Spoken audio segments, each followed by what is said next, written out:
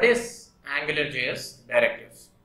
Already I have explain directives directives అంటే మనకు attributes HAML టెర్మినాలజీలో చెప్పాలంటే అవి అట్రిబ్యూట్స్ అంటారు. ఇక్కడ మనకు what are the types of directives available how many ways we can make use of that particular directives I be explaining in this particular session ఇంకా directives అంటే మనకు అట్రిబ్యూట్స్ హెచ్టిఎంఎల్ టెర్మినాలజీలో మనకు attributes angular జేఎస్లో మాత్రము ఈ particular directives starting with NG hyphen అని ఉంటాయి. Already previous సెషన్లో నేను చెప్పినాను.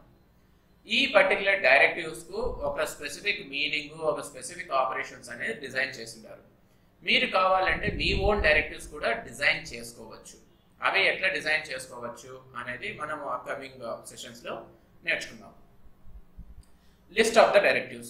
Some of the directives uh, available in AngularJS 1 is these are the some of the directives. Ng app, ng controller, ng module ఇట్లా చాలా డైరెక్టివ్స్ ఉంటాయి. ఇంకా చాలా డైరెక్టివ్స్ మీరు చూస్తారు. ఇక్కడ కొంచెం ఎన్ అనేది క్యాపిటల్ ఉంది. కాకపోతే రియల్ టైంలో మనకి ఎన్ ఎప్పుడు క్యాపిటల్ ఉండదు. ఎవ్రీథింగ్ ఈజ్ స్మాల్ ఓన్లీ ఇక్కడ పీపీటీ ప్రిపేర్ చేసేటప్పుడు అట్లా వచ్చింది.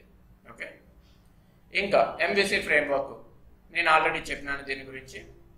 మనకు ఫ్రంట్ అండ్ వ్యూవర్ ఉంటుంది. This is meant for displaying the result otherwise taking the input ఇంకా controller it enables the interaction అంటే ఫ్రంట్ అండ్ ఏంటి బ్యాక్ ఎండ్కు బ్యాక్ అండ్ ఏంటి ఫ్రంట్ ఎండ్కు మనం కమ్యూనికేషన్ చేయాలన్నా ఏమైనా డేటా మోడిఫికేషన్ చేయాలన్నా మనం ఈ కంట్రోలర్ యూజ్ చేస్తాము. ఇంకా మోడల్ అంటే డేటా స్టోరేజ్ కోసం యూజ్ చేస్తాము. డేటా స్టోరేజ్ రిట్రీవల్ కోసం ఈ మోడల్ అనేది యూజ్ చేస్తుంది. ఈ డేటా వ్యూవరు కంట్రోలర్ మోడల్స్ ఇవన్నీ కూడా మనకు మీరు చూసినారంటేనా? ఇక్కడ చూడండి మోడల్ ఉంది. ఇక్కడ వచ్చేసి ఎన్జీ షో బైండ్ ఇవన్నీ ఉన్నాయి. ఇవన్నీ మనకు స్టోరేజ్ రిట్రీవల్ కోసము ఎంబీసీ మోడల్ ఆపరేషన్స్ చేసేదానికి మనం యూజ్ చేస్తాం. ఇంకా data binding.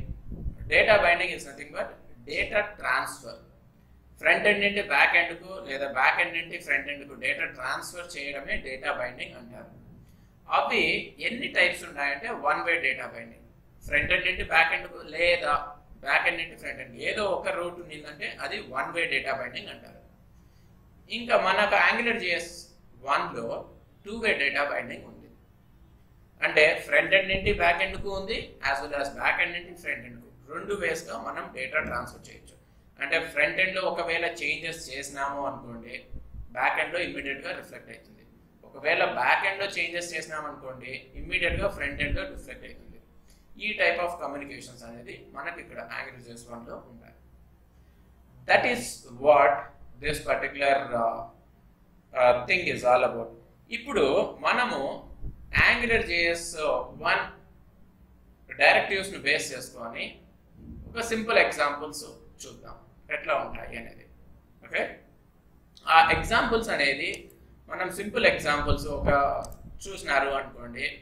మీరు ఇది తీసుకోండి. ఇక్కడ ఎన్జీ యాప్ నేను ఆల్రెడీ చెప్పిన్నాను ఎన్జీ యాప్ అంటే ఏంటి? ఎన్జీ యాప్ అంటేనే this is your Angular JS applications ఇక్కడ స్టార్ట్ అవుతాయి అని నేను చెప్పినాను. నెక్స్ట్ వచ్చేసి ఈ పర్టికులర్ అప్లికేషన్స్లోనే uh, మనము ఆల్ ద ప్రోగ్రామ్స్ రాస్తాము. ఆ ప్రోగ్రామ్స్ అనేది ఎట్లా రాస్తాము అనేది అంటే ఇక్కడ చూడండి. త్రీ టెక్స్ట్ ఫీల్డ్స్ ఉంటాయి. Simple text fields. ఈ టెక్స్ట్ ఫీల్డ్స్లో నేను ఎంటర్ చేస్తాను డేటా. ఏదైనా ఎంటర్ చేసినాను అనుకోండి. ఆ పర్టికులర్ డేటా వచ్చేసి మనకు ఆటోమేటిక్గా మోడల్స్ లేకి స్టోర్ కావాలి. అంటేనా చూడండి. ఈ టెక్స్ట్ ఫీల్డ్లో ఎంటర్ చేసిన డేటా ఈ మోడల్లో ఈ నెంబర్ అనే వేరియబుల్లోకి స్టోర్ అయిపోతుంది next similar way for this text field అంటే ఈ టెక్స్ట్ ఫీల్డ్ కూడా మనం ఏమన్నా డేటా ఎంటర్ చేసినామంటే ఈ నేమ్ అనే మోడల్ ఈ మోడల్ అంటే ఒక టెంపరీ స్టోరేజ్ మా ఆ టెంపరీ స్టోరేజ్లో మనము ఈ నేమ్ అనే మెమరీలో ఇక్కడ ఎంటర్ చేసిన వాల్యూ స్టోర్ అయిపోతుంది. ఇంకా ఈ టెక్స్ట్ ఫీల్డ్లో ఎంటర్ చేసిన వాల్యూ ఈ పర్టికులర్ ఈ శాలరీలో స్టోర్ అయిపోతుంది. ఈ శాలరీ అనేది ఒక వేరియబుల్ అనుకోండి ఒక మెమరీ దాంట్లోకి స్టోర్ అయిపోతుంది. ఇవి ఎన్జీ మోడల్ ఇవి డైరెక్టివ్స్ అగైన్ డైరెక్టివ్స్ ఏ పర్టికులర్ టెక్స్ట్ ఫీల్డ్కు అసోసియేట్ అయిపోయి ఉంటుందో ఆ టెక్స్ట్ ఫీల్డ్లో ఎంటర్ చేసిన వాల్యూ ఆ పర్టికులర్ రెస్పెక్టివ్ వేరియబుల్లో స్టోర్ అయిపోతుంది. సో ఈ త్రీ టెక్స్ట్ ఫీల్డ్స్కు త్రీ డిఫరెంట్ లొకేషన్స్లో వేరియబుల్స్ వాల్యూ స్టోర్ అయింటాయి ఇంకా ఈ నెంబర్లో ఏం స్టోర్ అయిందో దీన్ని ఎక్స్ప్రెషన్ ట్యాగ్ అంటారు. Opening tag opening curly braces closing curly braces ఇవి రెండు ఉన్నాయంటేనా దీన్ని ఎక్స్ప్రెషన్ ట్యాగ్ అంటారు. ఈ ఎక్స్ప్రెషన్ ట్యాగ్ మనం యూజ్ చేసుకొని ఈ పర్టికులర్ వేరియబుల్లో అంటే ఈ మోడల్లో ఏం స్టోర్ అయిందో ప్రింట్ చేసుకోవచ్చు. వెబ్ పేజ్ పైన. ఇట్లే కాకుండా ఇంకా చాలా వేస్లో ఉన్నాయి మనం ప్రింట్ చేసుకునేది. నేను ఈ నెంబర్లో ఏముందో ప్రింట్ చేస్తాను. ఈ నేమ్లో ఏముందో ఇక్కడ ప్రింట్ చేస్తాను. ఈ శాలరీలో ఏముందో ఇక్కడ ప్రింట్ చేస్తాను. ఇట్లా ప్రింట్ చేసేదానికి నేను ఈ ఎక్స్ప్రెషన్ ట్యాక్స్ అనేది యూజ్ చేసుకుంటున్నాను సో ఇక యాజ్ యూజువల్ ఇక్కడ యాంగులర్ జేఎస్ లోడ్ చేస్తున్నాను. నెక్స్ట్ ఈ పర్టికులర్ కోడ్ అంతా ఎన్జీ యాప్లోనే ఉంది. So that it will recognize my code is Angular JS code ఇప్పుడు రన్ చేసి చూపించినాను అనుకోండి. చూడండి. ఇక్కడ వన్ అంటే నెంబర్లోకి వన్ ఎంటర్ చేసినాను ఇక్కడ డిస్ప్లే అయిపోతుంది. నెక్స్ట్ దీంట్లోకి ఏ ఎంటర్ చేసినాను ఇక్కడ డిస్ప్లే అయిపోయింది. దీంట్లోకి ట్వెల్వ్ పాయింట్ త్రీ ఎంటర్ చేస్తాము డిస్ప్లే అయిపోయింది ఇక్కడ ఫ్రంట్ ఎండ్లో ఏమి చేంజ్ చేసినా బ్యాక్ ఎండ్లో ఇమీడియట్ చేంజ్ అయిపోయింది. అదే మనకు మళ్ళా ఇక్కడ ఫ్రంట్ ఎండ్లో డిస్ప్లే చేసేదానికి యూజ్ అయింది. అంటే ఫ్రంట్ బ్యాక్ బ్యాక్ నుండి front two way data binding ఈజీగా అయిపోతుంది. మనము ఒక ఈవెంట్ చేయట్లేదు నెక్స్ట్ ఒక బటన్ క్లిక్ చేయట్లేదు ఏమీ చేయట్లేదు ఇక్కడ. ఇది సింపుల్ యాంగులర్ జేఎస్ ప్రోగ్రామ్ ఇంకా ఇక్కడ చూడండి మనం ఎన్జీ యాప్ అనే డైరెక్ట్ యూజ్ చేస్తున్నాము ఎన్జీ మోడల్ స్టోరేజ్ చేసేదానికి యూజ్ చేస్తున్నాము. ఎక్స్ప్రెషన్ ట్యాగ్ ప్రింట్ చేసేదానికి యూజ్ చేస్తున్నాము. ఇట్లనే మనము ఎక్స్ప్రెషన్ ట్యాగ్ కాకుండా ఇంకొకటి ఉంది. చూడండి. ఇక్కడ సేమ్. ముందు ఇనిషియల్గా అయితే employee number employee name employee salary మనం ఏమి డేటా లేదు. ఎంటీగా ఉన్నాయి అవి. ఇక్కడ చూడండి ఎన్జీ ఇనిట్ అనేది ఇంకొక డైరెక్టివ్. ఇనిట్ అంటే ఇన్షియలైజ్ చేస్తుంది. ఇక్కడ మనము ఏమి ఇన్షియలైజ్ చేస్తున్నాం? ఎంప్లాయీ నెంబర్ను అంటే ఈ ఎంప్లాయీ నెంబర్ మీరు ఒకవేళ ఎంటర్ చేయకపోతే ఎంప్లాయీ నెంబర్ను వన్ అని ఇన్సూరెన్స్ చేస్తున్నాను. ఎంప్లాయీ నేమ్ను ఏ అని ఇన్సూరెన్స్ చేస్తున్నాను. ఎంప్లాయీ శాలరీని ట్వెల్వ్ పాయింట్ త్రీతో ఇన్సూరెన్స్ చేస్తున్నాను. నెక్స్ట్ ఇక్కడ బై డిఫాల్ట్ ఈ వాల్యూస్ సెట్ అయిపోతాయి. దాంట్లో ఉండదు కాబట్టి. నెక్స్ట్ ప్రింట్ చేసేదానికి ప్రీవియస్గా నేను ఎక్స్ప్రెషన్ ట్యాగ్ యూజ్ చేస్తాను. ఇప్పుడు వచ్చేసి ఏదో ఒక ట్యాగ్కు అటాచ్ చేసి ప్రింట్ చేయాలి అనుకోండి. ఇక్కడ హెచ్ వన్ ట్యాగ్ ఉంది.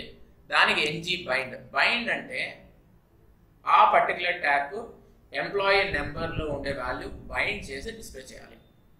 ఈ ఎంప్లాయీ నెంబర్లో ఏముంది? బై డిఫాల్ట్ అనుకోండి వన్ ఉంది.